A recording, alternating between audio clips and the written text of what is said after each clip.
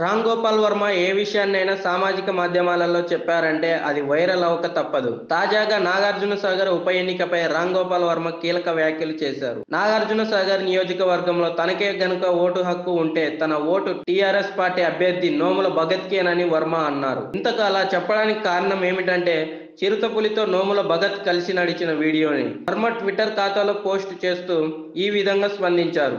CM KCR మంత్రి కేటీఆర్ను సింహం పులితో పోల్చిన రామ్ గోపాల్ వర్మ ఈ వీడియో చూసిన తర్వాత చిరుతపులిని వాకింగ్కు తీసుకెళ్ళిన నోముల భగత్ను ఇష్టపడుతున్నట్లు తెలిపారు. దివంగత ఎమ్మెల్యే నోముల నరసింహారావు కొడుకు నాగార్జున సాగర్ ఉప ఎన్నికల్లో టీఆర్ఎస్ పార్టీ అభ్యర్థి నోముల భగత్ను ఓ చిరుత పులితో వాకింగ్కు ఓ చిరుత పులితో వాకింగ్ చేస్తూ వెళ్తున్న చిన్న చిన్న వీడియోను వర్మ ట్వీట్ చేశారు. వామ్మో కేసీఆర్ కేటీఆర్ టైగర్ సింహాలు అని మనకు తెలుసు.